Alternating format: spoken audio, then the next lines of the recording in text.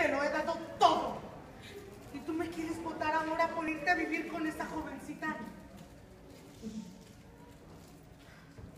¿No te das cuenta que por la edad que tiene podría ser nuestra hija? Además, ella solo está contigo por dinero. El dinero que con tanto esfuerzo yo te ayudé a ganar. ¿O a poco piensas que realmente está enamorada de ti?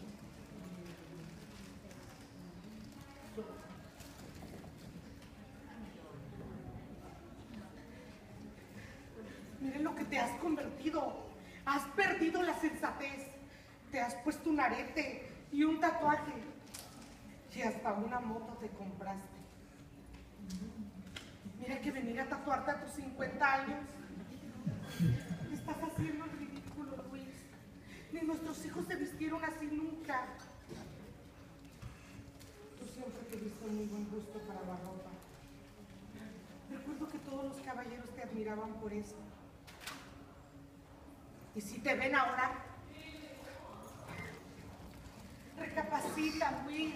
Aún estás a tiempo. Esta es tu casa, tu hogar. Yo soy tu mujer. No, no soy una jovencita. Ni tengo un cuerpo escultural. Pero te quiero, Luis. En verdad te quiero.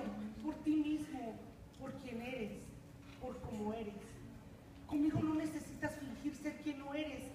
tener gustos que no tienes. Además, ¿qué dirán nuestros hijos cuando se enteren que tienes un amante y que me quieres abandonar para irte a vivir con ella?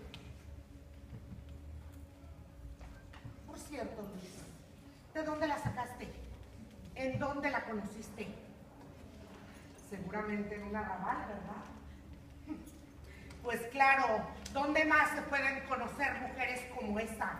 Sino en un lugar sucho de mala muerte. No, no, no, no, ¿qué haces? Suelta esa maleta. No, por favor, Luis, no te vayas. No me dejes. Luis.